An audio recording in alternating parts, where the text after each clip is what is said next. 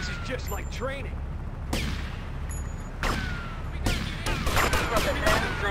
South de La Habana,